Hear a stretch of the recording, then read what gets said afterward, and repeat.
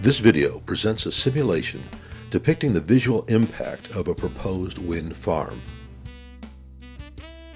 Four of the RockWorks Earth Apps programs, along with Google Earth, were used to create this visualization. The Extract Polyline Single program, the Points Icons Simple program, the Images Vertical Based on Single Midpoint program, and the Flyover Advanced Command Driven program. The first step was to use the Google Earth Add Path command to draw the initial tour route. Next, the path was copied to the Windows clipboard and imported into RockWorks via the Extract Polyline Single program. The Points Icons Simple program was then used to number the path vertices.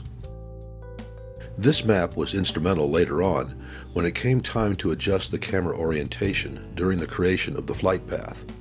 Next, an image of a wind turbine was obtained and a datasheet was created listing multiple locations and dimensions for this image. The image's vertical, based on single midpoint program, was then used to add these images to Google Earth. For each point within the tour path datasheet, the following information was added by examining the previously described icon map. Camera direction or heading, vertical camera direction or inclination, and duration to the next point. Finally, the Flyover Advanced Command Driven program was used to create the virtual tour that you're seeing right now. Thanks for watching.